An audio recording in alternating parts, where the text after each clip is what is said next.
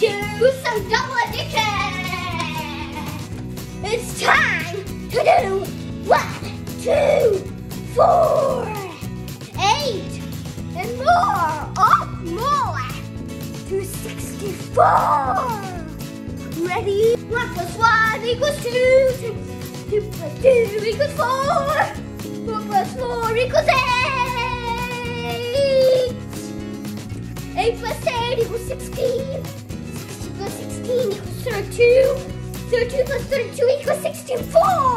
You make 64. Try to count by your own. But thanks for watching. Don't forget if you like this video, press the likes. If you want to see more, then press the subscribe button. And I'm pressing the bell. You must press the bell by by pressing the bell.